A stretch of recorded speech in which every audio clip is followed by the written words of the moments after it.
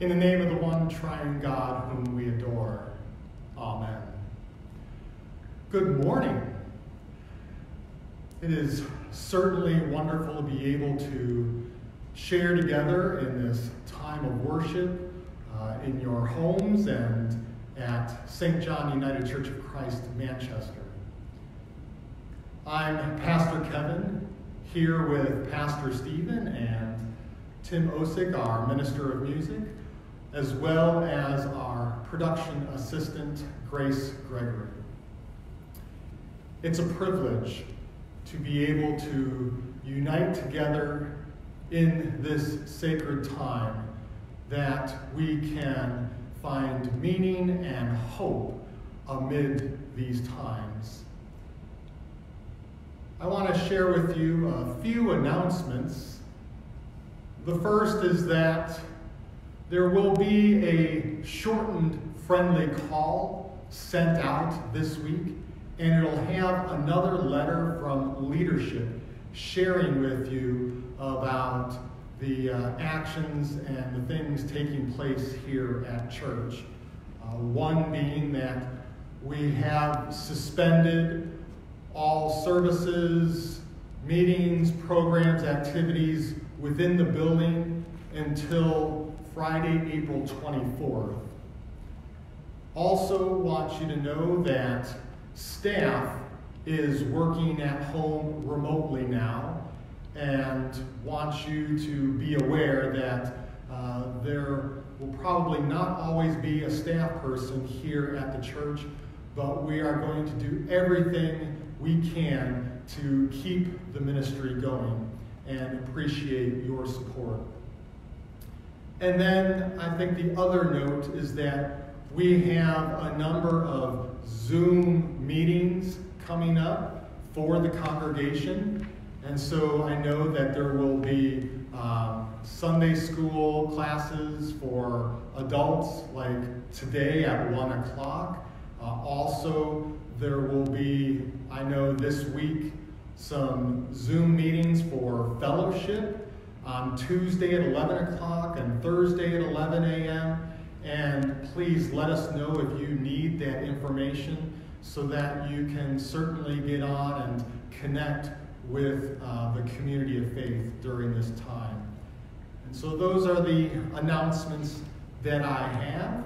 And at this time, we will share in the hymn, Precious Lord, Take My Hand.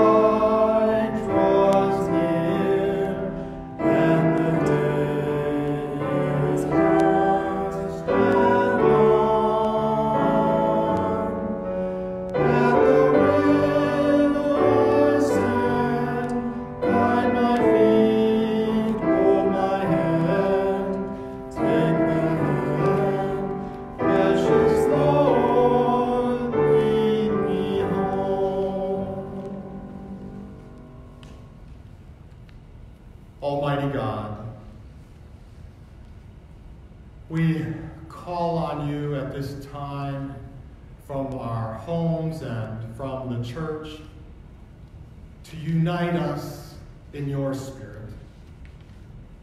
We pray that your presence would fill us with the good news of your gospel.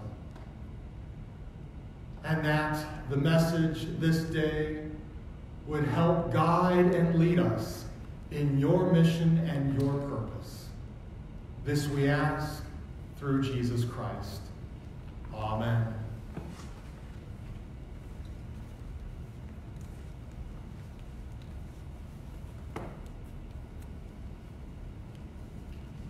Good morning. Our scripture this reading comes from the Gospel of John, chapter 11, verses 1 through 45. Now, a certain man was ill, Lazarus of Bethany, the village of Mary and her sister Martha. Mary was the one who anointed the Lord with perfume and wiped his feet with her hair. Her brother Lazarus was ill. So the sisters sent a message to Jesus Lord, he whom you love is ill. But when Jesus heard it, he said, The illness does not lead to death. Rather, it is for God's glory, so that the Son of God may be glorified through it. Accordingly, though Jesus loved Mary and her sister and Lazarus, after having heard that Lazarus was ill, he stayed two days longer in the place where he was. Then after this, he said to his disciples, Let us go to Judea again. The disciples said to him, Rabbi, the Jews were just now trying to stone you, and you're going there again? Jesus answered, Are there not twelve hours of daylight? Those who walk during the day do not stumble because they see the light of this world. But those who walk at night stumble, because the light is not in them. After saying this, he told them, Our friend Lazarus has fallen asleep, but I am going there to awaken him. The disciples said to him, Lord, if he has fallen asleep, he will be all right. Jesus, however, had been speaking about his death but they thought that he was referring merely to sleep. Then Jesus told them plainly, Lazarus is dead. For your sake I am glad I was not there, so that you may believe. But let us go to him. Thomas, who was called the twin, said to his disciple, his fellow disciples, Let us also go, that we may die with him. When Jesus arrived, he found that Lazarus had already been in the tomb for four days. Now, Bethany was near Jerusalem, so some two miles away. And many of the Jews had come to Martha and Mary to console them about their brother. When Martha heard that Jesus was coming, she went to meet him, while Mary stayed home. Martha said to Jesus, Lord, if you had been here, my brother would not have died. But even now I know that God will give you whatever you ask him. Jesus said to her, Your brother will rise again. Martha said to him, I know that he will rise again in the resurrection on the last day. Jesus said to her, I am the resurrection and the life. Those who believe in me, even though they die, will live and everyone who lives and believes in me will never die. Do you believe this? She said to him, Yes, Lord. I believe that you are the Messiah and the Son of God, the one coming into the world. When she had said this, she went back and called her sister Mary and told her privately, The teacher is here and is calling for you. And when she heard it, she got up quickly and went to him. Now Jesus had not yet come to the village, but was still at the place where Martha had met him. The Jews who were with him with them in their house, consoling her, saw Mary get up quickly and go out. They followed her because they thought that she was going to the tomb to weep there. When Mary came to where Jesus was and saw him, She knelt at his feet and said to him, Lord, if you had been here, my brother would not have died. When Jesus saw her weeping, and the Jews who came with her also weeping, he was greatly disturbed in spirit and deeply moved. He said, Where have you laid him? They said to him, Lord, come and see. And Jesus began to weep. So the Jews said, See how he loved him? But some of them said, Could not he who opened the eyes of the blind have kept this man from dying? Then Jesus, again greatly disturbed, came to the tomb. It was a cave, and a stone was lying against it. Jesus said, Take away the stone. Martha, the sister of the dead man, said to him, Lord, already there is a stench because he has been dead for four days. Jesus said to her, Did I not tell you that if you believed, you would see the glory of God? So they took away the stone. And Jesus looked upward and said, Father, I thank you for having heard me. I knew that you always hear me, but I have said this for the sake of the crowd standing here, so they may believe that you have sent me. When he had said this, he cried with a loud voice, Lazarus, come out! The dead man came out, his hands and feet bound with strips of cloth, and his face wrapped in cloth. Jesus said to them, Unbind him and let him go. Many of the Jews, therefore, who had come with Mary and had seen what Jesus did, believed in him. Here ends the reading of our scriptures. Thanks be to God.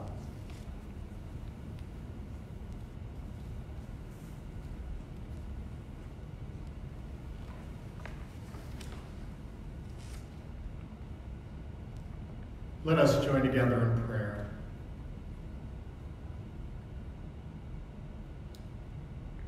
May the words of my mouth and the meditations of each of our hearts be acceptable to you, O God, our strength and our Redeemer. Amen.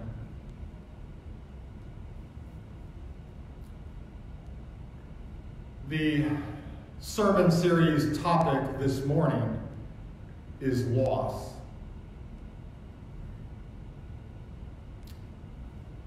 Last weekend, I picked up my oldest daughter, Sarah, from college. Due to a Mercyhurst University student testing positive for COVID 19, the school abruptly informed everyone to move out. My trip to Pennsylvania felt like a bad zombie apocalypse movie. In the early hours of the morning, before it was light, I packed up Sarah's belongings in the car and we hopped on the interstate. As we drove away, the what should have been swirled around my mind and weighed heavy on my heart. Sarah's a senior. The capstone project that she had been choreographing will never come to be. She won't get to perform on stage one final time for Raw Edges. There was no opportunity to say goodbye to professors. There won't be a chance to hang with her friends and raise a toast for a job well done. She won't get to walk across campus one last time to reminisce over her college days. And on Monday, she received the email that the graduation ceremony has been canceled.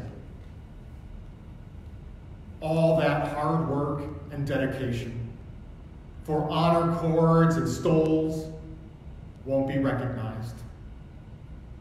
She won't be able to walk across the stage in her cap and gown while hearing her name being called to receive her degree. The moment to celebrate has been laid to rest in the tomb of her soul. loss.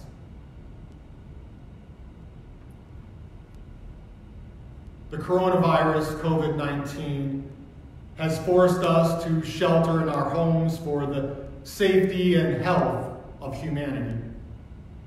It's important and necessary. At the same time, this action doesn't come without loss. We are all experiencing grave loss right now. We think of the millions of high school and college seniors across the country who won't get to celebrate these final school days. But we also think about the people who have lost their jobs and their incomes because of this pandemic. We think about the sports seasons like basketball and hockey and other performances like symphonies and shows that have been lost. We think about the loss of trips, weddings, funerals that didn't happen. I know loved ones are being buried while family can only sit in their cars and watch without a service.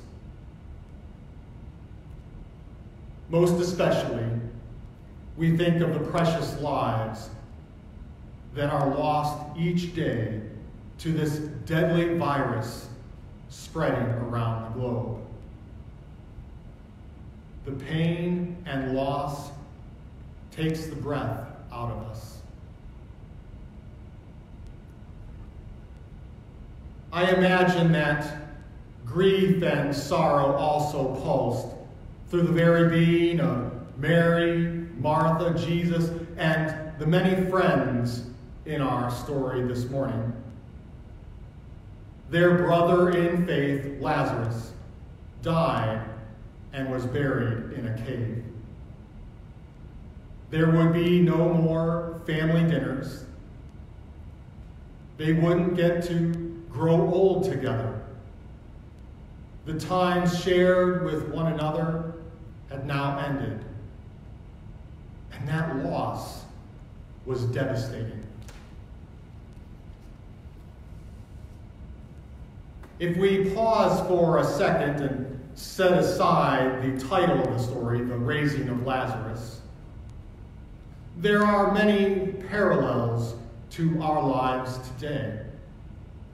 For instance, after Jesus hears about the illness of his friend Lazarus, he stays two days longer in the place where he was. Even Jesus shelters at home before he heads to visit Mary and Martha. That's hard for Jesus, just as it's hard for all of us to shelter in place. We want to go and do something, but the timing and moment are not appropriate. When Jesus arrives in Bethany, family and friends are upset with him. Some of them said, Could not he who opened the eyes of the blind man have kept this man from dying? They're irritated that nothing was done to prevent the loss. Many of us are probably frustrated and angry that something, anything, can't be done to prevent the losses happening in our lives. The story also shares with us in verse 35 Jesus began to weep. Folks, this loss was so tragic for Jesus that he cried. Yes, Jesus shed tears of grief. I can't even fathom the river of tears shed by people around the world because of the tremendous amount of loss. I've cried a few times already due to the overwhelming nature of this hardship It's all right to cry. Jesus did too.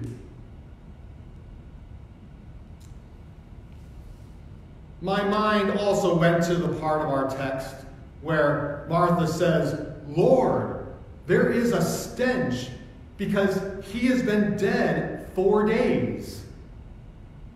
The smell of the body stinks. How fitting for our circumstances. There's no other way to put it. Loss stinks.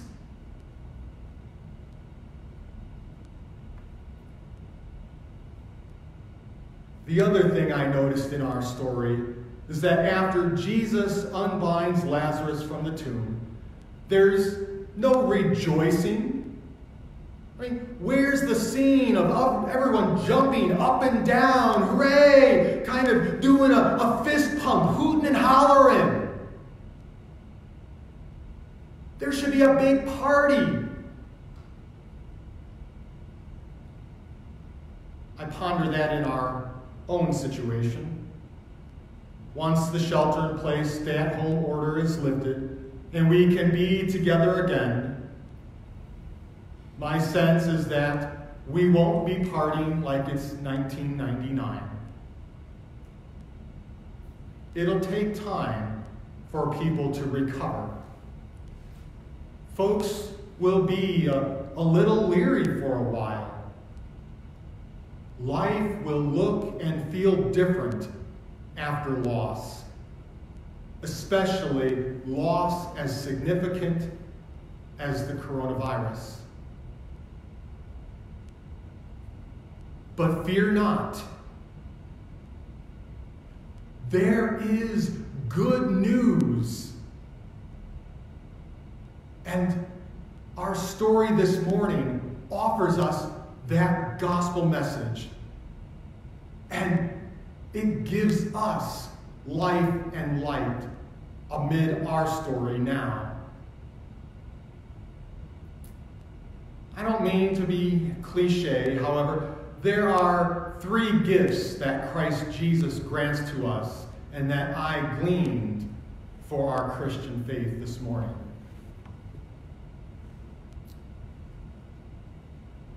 Despite the loss, Jesus goes to Bethany to mourn with Martha, Mary, the disciples, and all those friends who grieved the death of Lazarus. He didn't avoid them. He didn't deny the pain and frustration that everyone felt. Jesus went to be with the community and to share in that hardship that's how we can get through loss. We express our feelings and emotions with others who are experiencing the same thing. If we have friends who are also dealing with the same loss, then we need to call them and talk to them about it. We don't have to go through it alone. As the liturgy in our funeral service states, we come to comfort and to support one another in our common loss. We find a kinship and a bond with brothers and sisters who are also dealing with the same struggles. And we help each other acknowledge the loss, but more importantly, work through it together for healing and new life.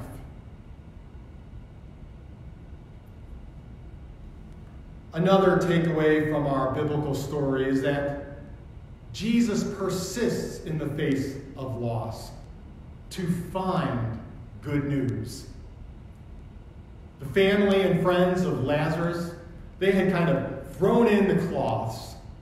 Mary says, Lord, if you had been here, my brother would not have died. They had resigned themselves to the fact that this was it. This was the end. But Jesus carries on He perseveres amid the loss. And so must we. We must persist in the face of the coronavirus. We must forge ahead through our loss and focus on the hopeful, positive aspects that have, that have come to us and that are going on all around us. I invite you after worship today to take time to name the wonderful things that we have that we can look forward to right now in this time. Maybe it's, you know, more family dinners around the table that you didn't think that you would have again. I, I walk outside and I see families going for a walk, you know, playing frisbee together. Maybe it's slowing down the pace of life for more sleep, to catch up on the, the sleep that you've lost, or for that refreshing walk outside, or to read a good book that you've been talking about and that you just haven't done because you found all these other things to do. Maybe it's recognizing the little things that we take for granted and having a new appreciation for the sanctity of life. Let me give you an example. I miss all of us being here together in worship. This is a great loss, not being able to join as a community on Sundays. At the same time, we conducted our first ever live stream worship experience on Facebook last Sunday. Folks, that's monumental. The even bigger surprise is that we had 183 people viewing our service on Facebook. Wow. I thought if we had gotten 30 or 40 people, we'd be doing good. In the face of loss, I recognize that we can connect online for sacred time and that we must continue this ministry for the new life that it can bring to God's people and to our church. Make sure you name and claim the positive things that come out of loss. The raising of Lazarus is really a story about the raising of us. It's a message of good news about how Christ Jesus can unbind us and help raise us to new life again. On the way to the cross this Lent, on the road to Jesus' death on Good Friday, as we continue to endure through COVID 19 and the stay at home order, we must remember this powerful word from our Savior I am the resurrection and the life. Those who believe in me, even though they die, will live. And everyone who lives and believes in me will never die. Life in Christ is not something that will be deterred by the coronavirus, deterred by loss for resurrection, for the gift of the gospel, for the glorious life that is life, God grants to us now. The Lord always, always leads us out of the cave of loss and bestows upon us a new start through faith. Trust in the Lord. God can do it through common support, through positive gifts, through the new life of faith. It's possible now.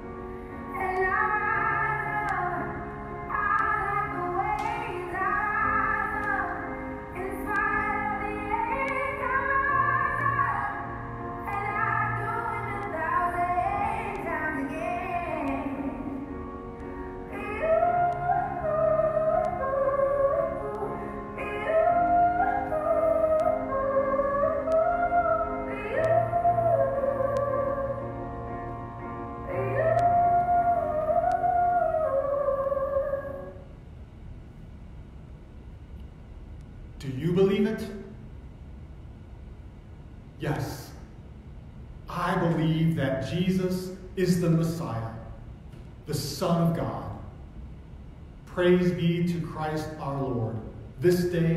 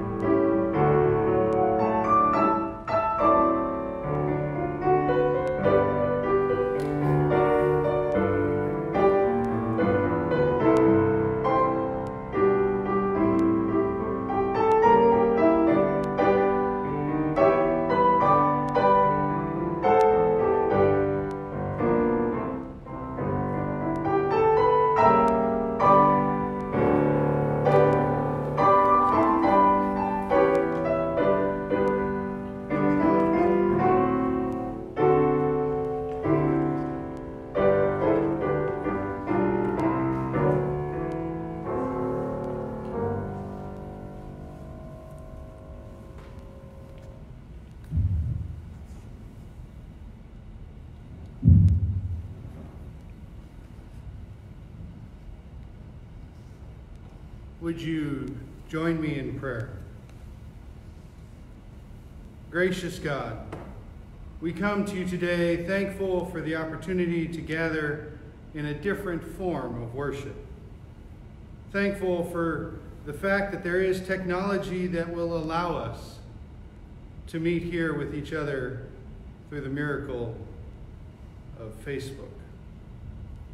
Thankful for the changing of the seasons outside as things begin to warm up and we allow ourselves the chance to get some fresh air. But loving God, we come to you today worried, troubled at heart by what is happening in our world and in our own lives. We pray that with the changing of the season, you also will change the path of this world.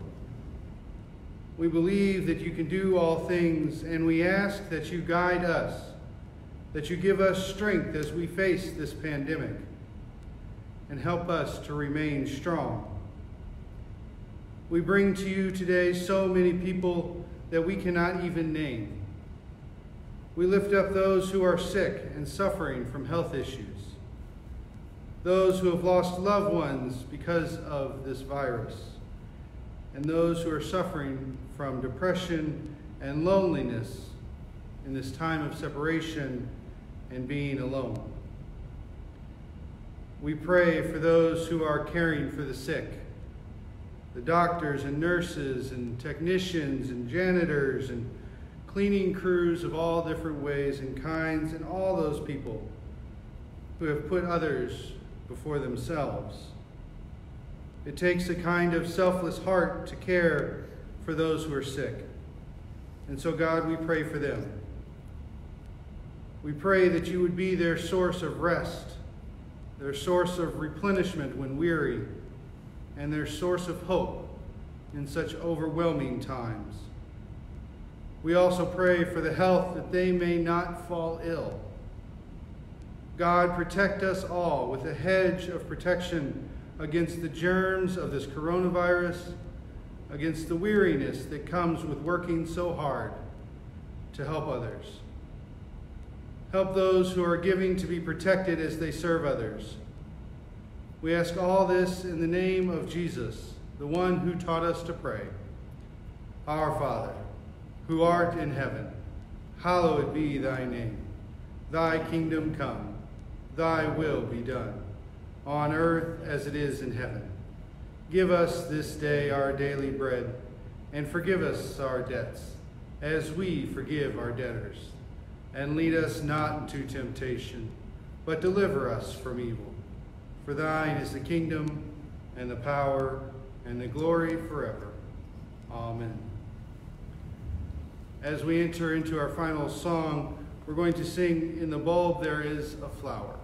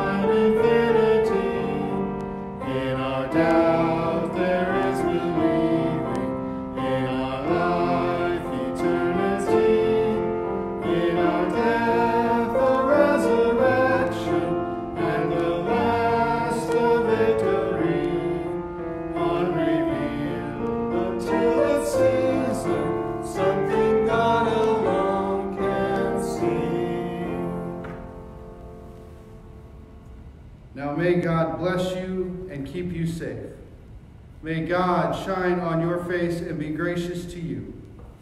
May God give you peace and strength to get through the tough times ahead. May God bless you until we can gather again together. In his name we pray. Amen.